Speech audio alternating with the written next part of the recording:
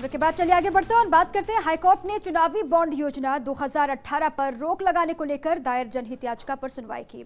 और आरबीआई के governor, SBI के महानिदेशक और केंद्र सरकार को नोटिस जारी कर जवाब तलब किया है। यह आदेश सीजे इंद्रजीत महंती और जस्टिस इंद्रजीत सिंह की खंडपीठ ने पब्लिक अगेंस्ट करप्शन सोसाइटी की ओर से दायर पीआईएल पर दिया।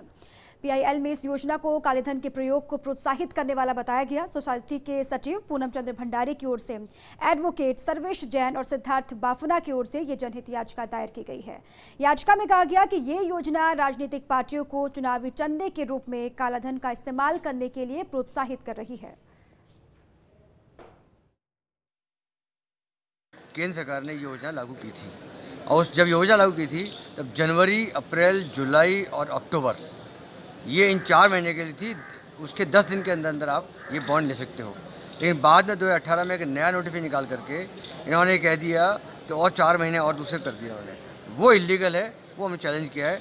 और आज चीफ जस्टिस और जस्टिस इंद्रजीत सिंह ने सुन करके कारण बता नोटिस केंद्र सरकार को एस को आरबीआई को सबको जारी किया आज राजस्थान हाईकोर्ट ने इस पब्लिक अगेंस्ट करप्शन में एक पीआईएल में नोटिस इशू किए हैं, जिसमें finance secretary, government of India, secretary corporate affairs, governor, reserve bank of India और managing director, state bank of India को नोटिस ज़ाहिर किए हैं, जिसमें चार सप्ताह का टाइम दिया है।